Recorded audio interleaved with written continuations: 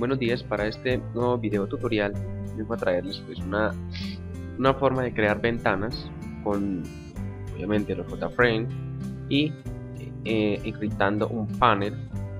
Acá está un panel eh, y poder insertar de una forma gráfica pero la única diferencia acá es que vamos a insertar obviamente normal en las cajas de texto en text file y vamos a visualizar el label pero en esta ocasión vamos eh, todo va a ser codificado va a ser codificado todo lleva código. No es el id y creator entonces acá la cuestión es bastante interesante porque todo hay que diseñarlo. En este pequeño algoritmo está diseñado pues simplemente hay estos cinco campos el nombre eh, apellido nombre dirección edad profesión netamente orientado a objetos simplemente son tres clases una que, realiza todo el procedimiento y acá es donde están todos los objetos para utilizar. Entonces la idea es que puedan ejecutarlo y puedan nuevamente yo trato de explicar solamente en los vídeos y que posteriormente se puedan ir al blog a visitar mi blog acá lo voy a publicar. Hay pocas publicaciones la idea es ir subiendo algoritmos sencillos. Y este, este es un ejercicio totalmente sencillo no hace mayor cosa. Ahora lo ejecutamos. Y la idea es que ustedes lo puedan ejecutar y además eh, puedan ir practicando un poco lo que es las interfaces gráficas pero perdón de esta manera hacerlo gráfico. Todo se realice a código. Entonces eh, lo que tenemos que hacer es bueno la idea es que más adelante un próximo video ya que ya lo tengo eh, eh, prácticamente bien diseñado es poder trabajar con estas interfaces desde Creator pero con bases de datos. Diseñar todo bien bien elegante empezar a explicar todo cómo funciona las interfaces gráficas. En, el artículo que voy a hablar en voy a publicar sobre este algoritmo va a estar muy bien explicado cómo que funciona cada uno de estos elementos que está, compuesto en este algoritmo. No lo hago acá porque es bastante largo como unas 500 líneas de código. Entonces pues eh, verifiquemos cuántas hay.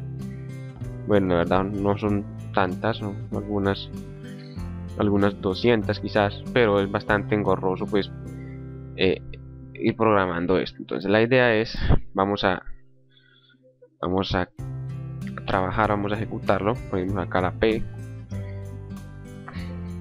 que tenemos que llamar el yo ya lo he ejecutado ¿no? p punto.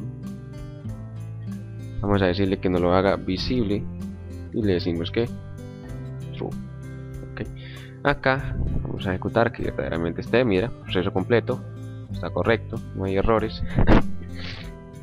Y esta es la interfaz que ustedes se van a encontrar. En un set layout acá no, no tiene así el, background de las dimensiones todo está diseñado así en desorden. Es, vamos a irle trabajando en nuevos tutoriales para irlo visualizando de una manera más buena que bien diseñado. Bueno lo que sí voy a hacer acá es poder eh, hacer tres cositas que me parecieron ya que vi acá nada vamos a resolverle una vez es bloquear este botón maximizar mira se ve mal cuando lo dejamos que ejecute. Vamos a hacer lo que se centre acá y bueno así cositas así vamos vamos a hacerlo de una vez pero la idea pues es que les tengan el, tutorial ahí bien.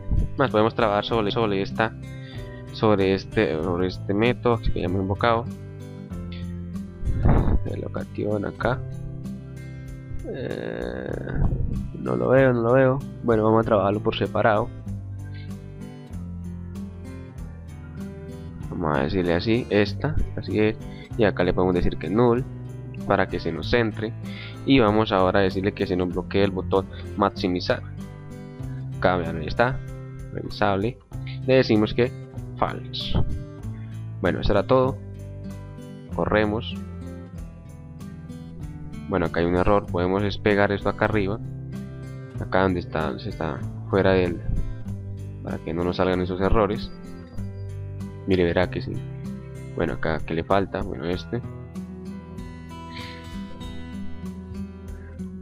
eh, mira de una, se nos bloqueó el botón y también eh, se nos centró, que lo que estaba buscando. Vamos a hacer una prueba acá, por ejemplo, mira.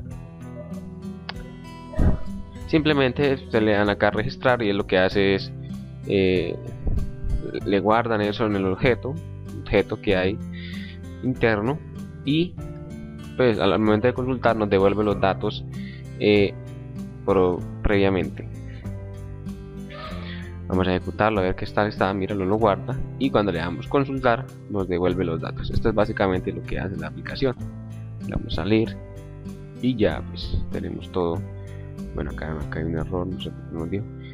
Eso era, era prácticamente todo lo que hay. El algoritmo es muy sencillo muy es corto y muy bien muy bien estructurado en el, artículo del blog queda todo el proceso.